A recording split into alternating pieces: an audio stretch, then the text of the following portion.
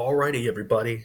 Um, before um, we get to you know stuff involving the NFL and stuff like that, we got to talk about you know the bowl season.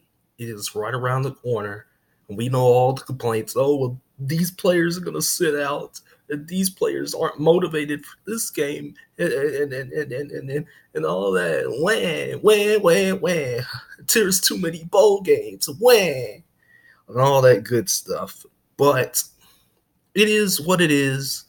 Um, I'm excited for the bowl season. Um, the bowls actually start Friday, December the 20th this year.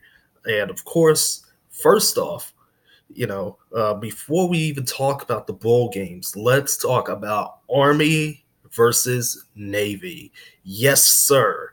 Once again, for the 120th time, we all get to see what in the world is going to happen in this game. Who is going to sing second?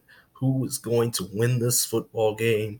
Who whose seniors are going to have that last gasp of victory uh, on the football field before they go off into service.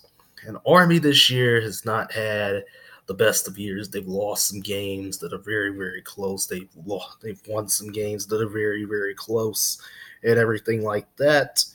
And it, it, it, it's it's very interesting to see, you know, what in the world happened to this team this year. Um, as we look around and whatnot to see what their schedule was like this year. Um, so obviously, this game will take place this Saturday. It will be in between, you know, it's in between the end of the conference championships and everything like that and the bowl season. So it's all alone aside from FCS Division 2, Division 3 and NIAA playoff games. But this game takes center stage. Um, unfortunately, um, you know, I'm gonna make an FCS playoff preview for tomorrow. Well, actually, I won't be here tomorrow, but it, it might be it might be late tomorrow night when that video comes. But anyway, that's that's not that's not what we're here for at all. Let's talk about Army and let's go real in depth here. Um, the high the high points of their season was taking on Michigan on September the seventh, and they lost that game 24-21 in the overtime, and they had the game won, but they threw the ball twice, and there were two turnovers based off of that. Um, and it's been a weird, weird season since to where they've lost about six of their last eight, only winning against UMass and VMI in their last couple of games. They ju- they literally just lost against Hawaii on the seventh the first, and their bowl season, it's a no go, no go on the bowls for them. So they are coming in with a record of five and seven. And they are led by Jeff Monken and their quarterback, which I do have to look up a little bit here because I am I am not well versed in armies um, players and whatnot because it's been it's been a while. And Kelvin Hopkins should have forgot. I shouldn't have forgotten. But you know, Kelvin Hopkins, Jeff Monken, these two guys have been something that it's been a treat watching Kelvin Hopkins throw the ball um, this year for Army uh, in, in, the very few games that I have seen him in. Um, and Jeff Monken is a great coach. I mean, you can't you can't make this stuff up with the triple with well, let's not call it that, but the option, the spread option um, offense, the other center spread option offense anyway. And you know it's gonna be great. It's gonna be a great, great time, and I'm ready for it. You know, uh, Army is looking to you know they they they can't they I don't think they can get the trophy this year, but um, the Commander in Chief's trophy, but they can they can see second if they beat Navy, and it's gonna be fun. gonna be fun for Navy. Gonna be fun for armies too. So let's talk about Navy real quick, led by Ken Niumatalolo, um, who also run the same spread option slash triple option flexbone under center type stuff, and they've got you know some they've got a lot going on this year. They are riding high, and this team is going to the Liberty Bowl against Kansas State. I will not be watching the Liberty Bowl, of course. Um, I only watch the bowl games on Saturday, so it's going to be that'll be an interesting game. But this year, um, they they lost early against Memphis, and that loss against Memphis proved to be the um, proved to be the dagger in their season. That loss because Memphis they only lost to Temple. They did lose to Navy. They lost to Temple. Memphis was able to go to the American Athletic Conference Championship over Navy because of that win that they had so early on in the season, and that was on September the 28th. So Navy season, um, as far as the American Athletic Conference race, ended there. But Malcolm Perry, uh, a guy who I haven't really been too high on, has led Navy to a nine and two season so far and their only other slip up came against Notre Dame, 52 to 20, and that was the game that Notre Dame didn't even sell out their own their own damn stadium. But you know, it is what it is.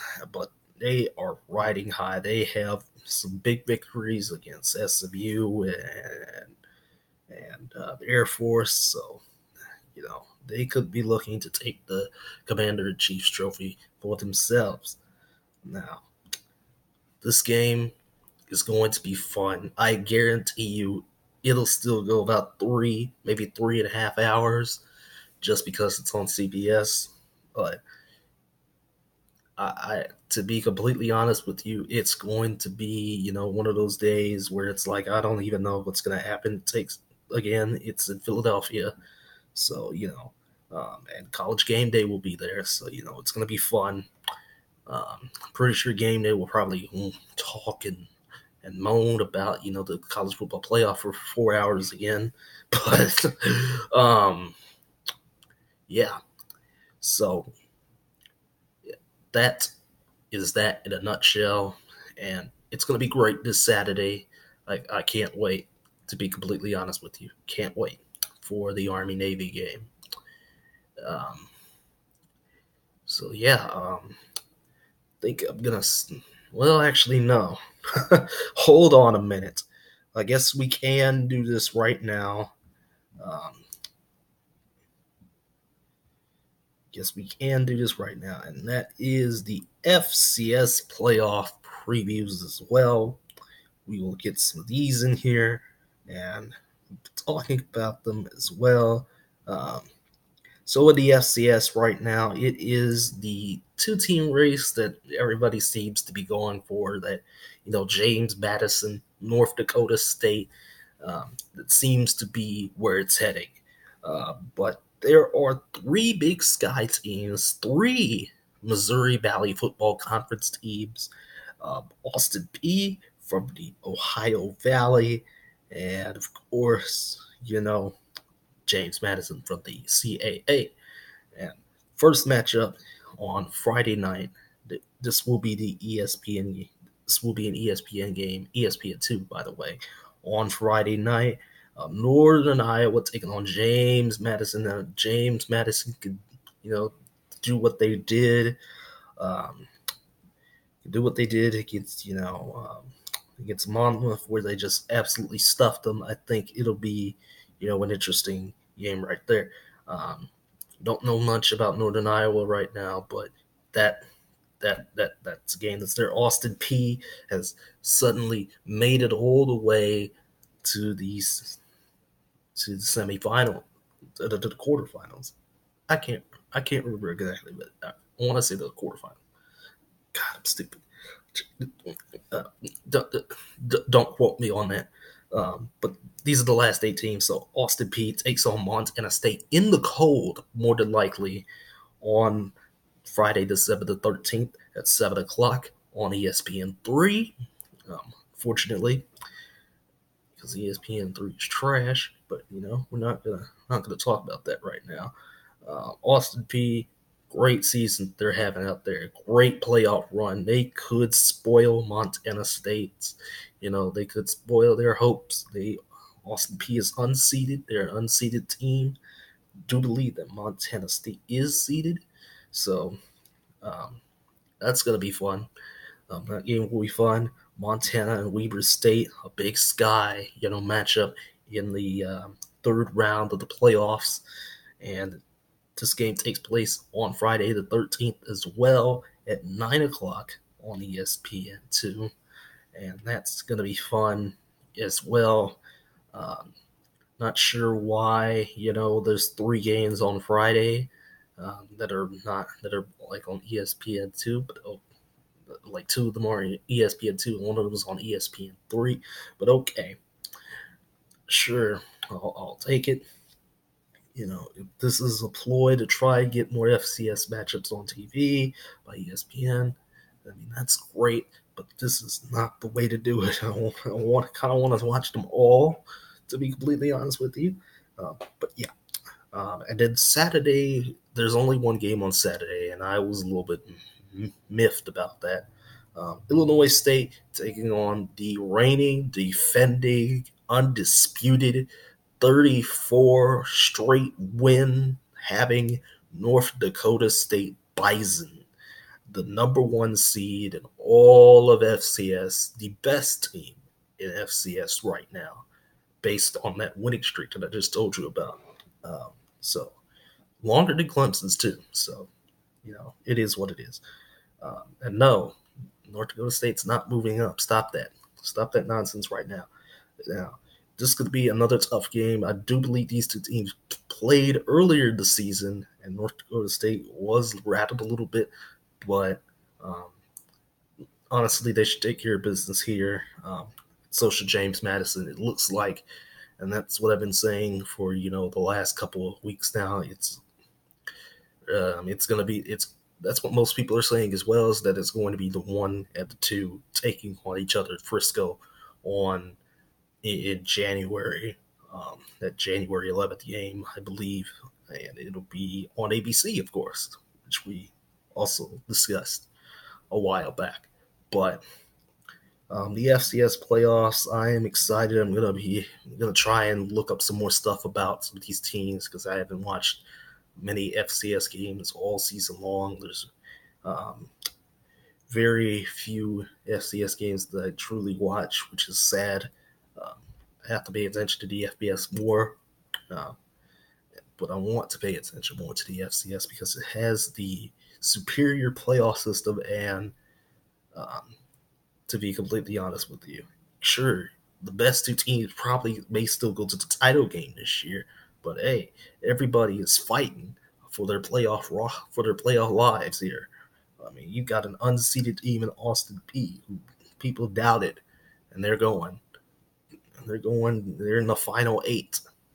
So um, these matchups determine who the final four seeds are. It'll look like the college football playoff will be done at the end of the day on Saturday. Well, we were done at the end of the North Dakota State game on Saturday. So we'll find out what happens there. Um, we'll find out what in the world's going on with the Army Navy game this year.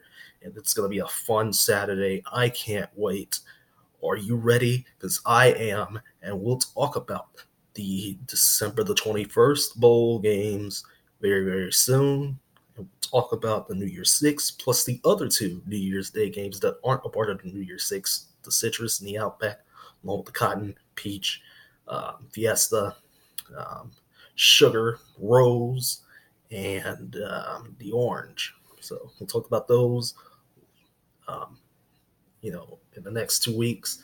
And that is going to do it for this video, y'all. You guys are the real MVPs. You guys are the best. And so happy to stay along for the ride. Also, I have this Love Condom shirt on. Um, so, you know, um, be safe out there. Um, it's Christmas. Um, don't be giving out don't be giving out bad treats now. and also, there's an interview with a um, with the UNT student that I did on in, in November sometime. It's in the playlist for the Objective Slant. It is there and it is ready for you to view and all that good stuff. So, y'all take care. This has been long, about 15 minutes too long. Um, but y'all, I will see you guys um, tomorrow for the NFL recap and preview for the next week because we got a lot to talk about. Y'all take care tonight peace.